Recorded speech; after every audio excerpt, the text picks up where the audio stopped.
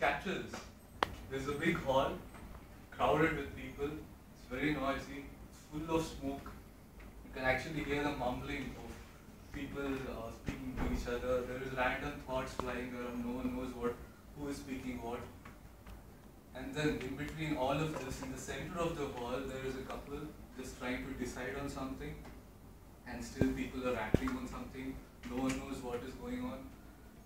Somewhere in some corner, a lady, a very subtle lady in her 50s, you can say, she's carrying a child. She just come in, comes in between the hall and she starts speaking. She just speaks two words. After that, everyone nods in acceptance. They're fine. They're smiling. Everyone is looking at uh, that lady. So I was telling, uh, there is a lot of chaos in the hall. Everyone is speaking on something. And in between, that lady comes. She's in her 50s, carrying a child, a baby rather. She comes and just speaks two words. And that makes everyone nod in acceptance. They're smiling. Anyone outside this building, outside this hall, hearing to what was happening, they could have easily mistaken this for a underground mafia meeting or something. But actually, what was happening over there was my naming ceremony. People over there were my relatives. The couple standing in between were my parents. The female, rather the lady in her 50s, with that intimidating voice who came and spoke two words, was my grandmother. What she told was my name, Nand Kishor. That would be me again. So, what I want to tell here is I'm fascinated by stories. I like to tell them, I like to hear to them. Main, uh, I like the concept of stories. So, my point is when someone is telling a story, they're actually trying to share something because they know that is worth telling. They find it interesting that something happened in their life. And moreover, they could have just heard it. So when they're sharing, they think that they heard something interesting in their life. So that is why they're sharing. So when you just listen to them with interest, it makes them feel better. They try to think, okay, uh, there's something interesting that happened in my life and people are finding that interesting. So maybe that motivates them just a little bit. Just as simple as that. So I just wanted to share this. Uh, that's about it. Uh, now I'm just gonna get you a peekaboo of myself as a person.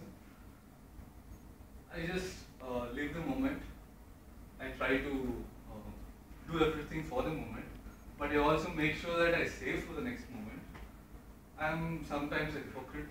I I don't mind just slipping in a 50 bucks when I'm not wearing a helmet, just to the cop, just say okay bye, just adjust.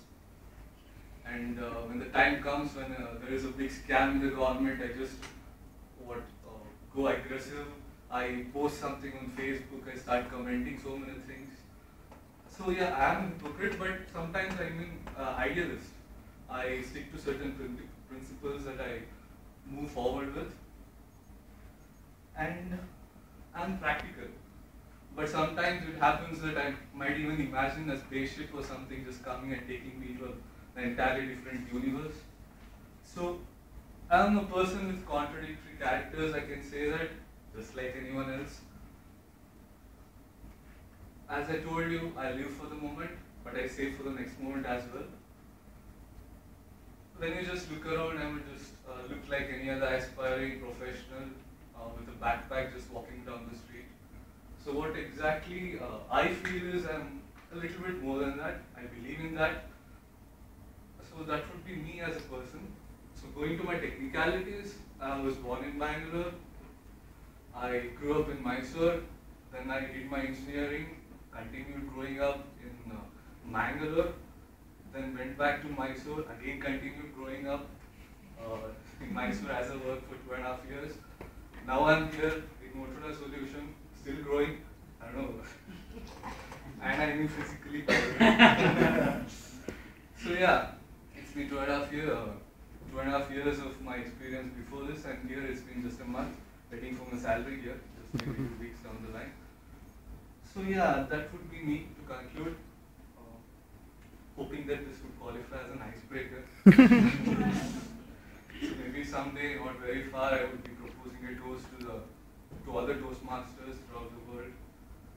So yeah, I just like to conclude and thank you all for the opportunity. I'm really honored.